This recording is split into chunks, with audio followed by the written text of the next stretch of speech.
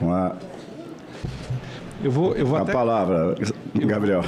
Eu vou começar pela do senador Oriovisto, porque eu, eu adoraria poder me vangloriar, quer dizer assim, já tive a coragem, porque em um ano e meio eu já subi, cortei e mantive. Eu já com, completei a caderneta, já fiz as três opções possíveis que um diretor de política monetária pode fazer, né?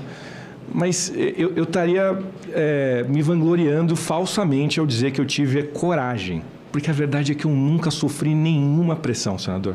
A verdade é essa. Eu jamais sofri. Seria muito levando da minha parte dizer que o presidente Lula fez qualquer tipo de pressão em cima de mim sobre qualquer tipo de decisão.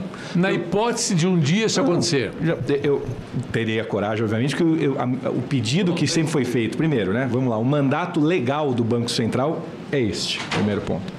É, segundo, todos os pedidos e recomendações que eu recebi dos senhores, inclusive do senhor quando me recebeu é, e, e- e me assegurando, me asseverando é, essa, essa liberdade, é, é para tomar as decisões de acordo com a nossa consciência. O dia que você começa a tomar decisões de fora da sua consciência, você vai começar a empilhar equívocos e vai ter muita dificuldade para explicar para si mesmo as decisões que você tomou. Então, a todo momento, todas as decisões que eu tomei na minha vida, e inclusive no Banco Central, eu durmo muito bem graças a isso. São, são sempre decisões de acordo com a minha consciência e a minha obrigação aqui é tomar essas decisões de acordo com o que é melhor para a população brasileira. E eu tenho certeza que na minha consciência, as decisões que eu tomei quando eu tive que cortar, quando eu tive que manter ou quando eu tive que subir, são as decisões que, ao meu julgamento, ao meu juízo, são as mais acertadas. Então, agora e no futuro, eu assumo aqui o compromisso de continuar nesta posição, mas não quero passar uma ideia leviana de que de alguma maneira,